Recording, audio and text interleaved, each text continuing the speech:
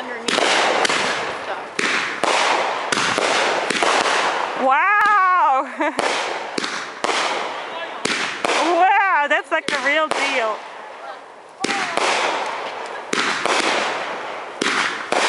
Nice.